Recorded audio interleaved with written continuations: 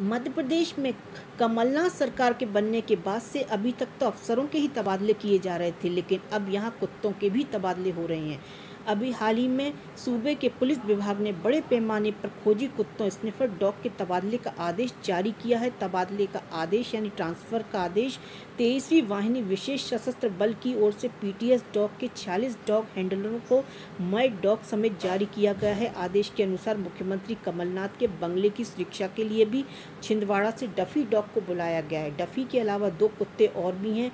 इन तीन खोजी कुत्तों को मुख्यमंत्री आवास की सुरक्षा के लिए विशेष तौर पर तैनात किया जाएगा।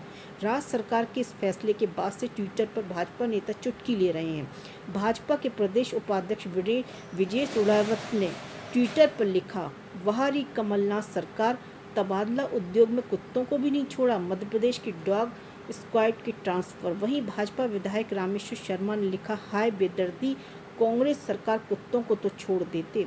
पुलिस विभाग ने अभी की कुत्तों के थोक तबादले किए हैं। मुख्यमंत्री आवास में करीब दो साल से पदस्थ रीमा और जया को हटा दिया गया है।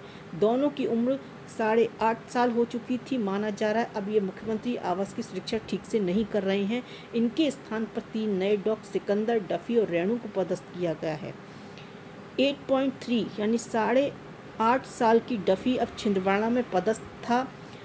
रेणु को मुख्यमंत्री के आवास पर इसलिए नियुक्त किया गया है क्योंकि उसकी सूंघने की क्षमता काफ़ी अच्छी है।